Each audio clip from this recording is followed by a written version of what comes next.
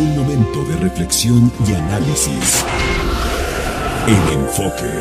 Pues se nos dejó venir el calorón, ya se había tardado, porque otros años desde abril la temperatura pone a hervir hasta el hielo.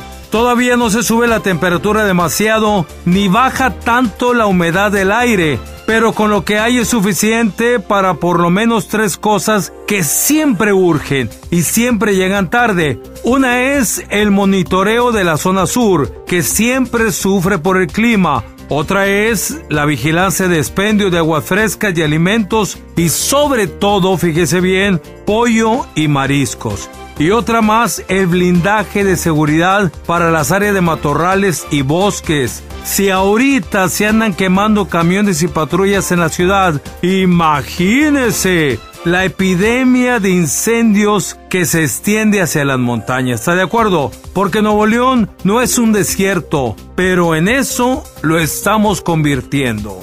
¡Ojo! ¡Mucho ojo!